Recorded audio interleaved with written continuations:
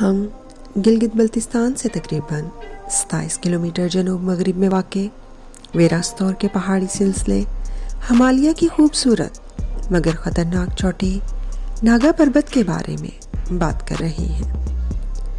मकामी लोग नागा पर्वत को दयामीर के नाम से भी पुकारते हैं। इस पहाड़ी चोटी का नाम नागा पर्वत संस्कृत ज़ुबान का लफ्ज़ है, जिसका मतलब है नंगा पहाड़। और मकामी नाम दयामीर का मतलब है बड़ी चोटी। नागा पर्वत को कातिल पहाड़ इसलिए कहा जाता है क्योंकि इस चोटी को सर करने की कोशिश में कोह पैमाओं की अक्सरियत अपनी जान से हाथ धो बैठी। उन्नीसवीं सदी के आखिर में इस पहाड़ी चोटी की दरियाफ्त हुई। पहली मर्तबा ये कातिल पहाड़ी चोटी, तीन जुलाई उन्नीस सौ तिरपन में सर हुई।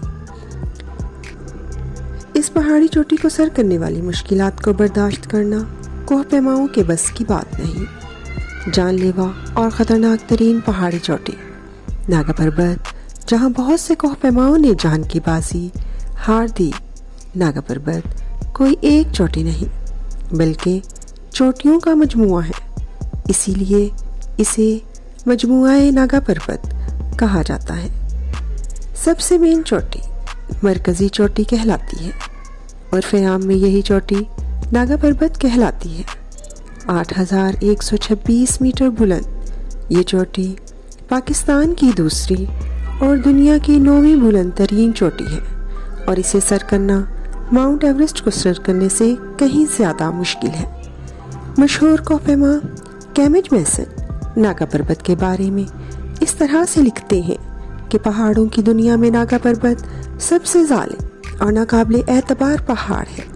ये अंदाजे की मामूली से मामूली गलती भी माफ़ नहीं करता। और इसके कानून में गलती की सबसे छोटी सज़ा, सज़ाए मौत है।